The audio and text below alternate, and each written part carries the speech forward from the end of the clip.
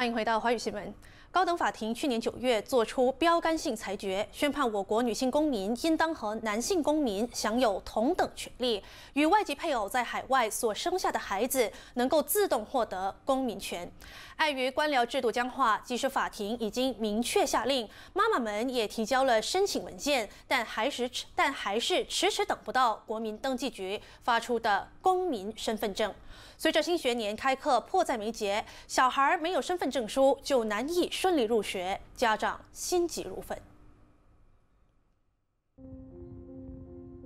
黄锦长二零一六年在中国南宁工作期间怀孕之后，原本计划回国生产，但是女儿却在回国前一天提早出生。虽然他事后向领事馆提交申请国籍的文件，但直到一家三口两年前因为新冠疫情回国，女儿还是没有获得我国的公民权。如今孩子到了入学年纪，没有公民身份，申请就读政府学校手续繁杂，报读私立或国际学校的费用又十分高昂，令他陷入两难。因为他他现在持有的是这个 dependent visa 嘛，就是 social visit pass 之类的。所以他呃，从这个 dependent visa social visit pass 要转换成 student visa，那这 student visa 每一年都要更新，每一年更新的时候都要去教育部打招呼，都要跟校方打招呼。在走的这个流程的时候呢，我听其他的妈妈们分享，有些时候甚至小孩需要两个月没有上学，因为在等着这整个流程啊去呃完成嘛。对于数千名苦等政府批准孩子公民权的母亲而言，虽然高庭的判决振奋人心，但法庭裁决是一回事，实践起来又是另外一回事。加上政府、内政部和国民登记局提出上诉，家长担心裁决有变卦，精神压力巨大。其中三名原告等了将近两个月，才在二月二十一号为孩子取得公民权。代表妈妈们入禀法庭的非政府组织家庭前线，敦促政府加快处理儿童公民权的手续，好让孩子能够顺利开课。因为公民权牵涉的课题相当多，比如说你报读的学校，或者是你的其他的权利，比如说你生病了，你去医院，你其实是被当作是外国人收外国人费用之类的。而现在受影响的孩子们还没有办法进进入那些公立政府学校，所以这个是一个紧迫的问题了。我觉得，对每一个妈妈来说呢，都是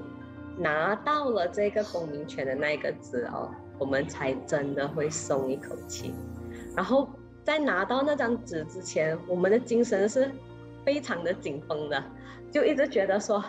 啊，会不会半途出错？会不会有什么呃文件不齐？啊，所以，所以我们都是很很紧张的去看待这个事情哦。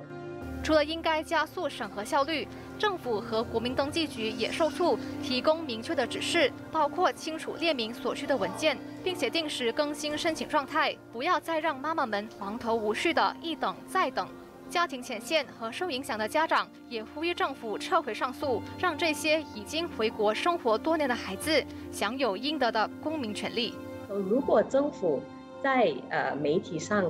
在呃。在这个 public 上面呢，已经说了他们会支持妈妈们，会站在我们这边的话，那我们就希望他们用呃呃行动来证明他们的呃这个心意哦，他们的 intention。我们就很希望他们可以 dari b a l i r a y u a n 这个事情就算完结了。大家都觉得我们在这个公民啊国呃这个公民权上面的事情。是应该要有公平的待遇，一定要男女平等。所以大既然大家有了共识，那为什么还要去打这个官司呢？那还有一个另外一个意义是说，其实说六十多年来，我们也知道很多的呃大妈及母亲就被剥夺了这个权利。其实我觉得政府呢应该纠正呃这个事情对于这些呃家庭妇女或者孩子们造成的错误和伤害。我觉得给予他们作为公民的那个平等权利是一个很基本的一个要求的。即使男女平等已经是一个普世价值观，但两性权利不同等的问题始终存在。上诉庭将在三月二十三号聆审政府提出的上诉。这场为女性争取和男性同等国籍传承权的斗争，远远还没有到结束的时候。但娘子军一定会坚持到最后一刻，绝不轻言放弃。马新社电视李于晴采访报道。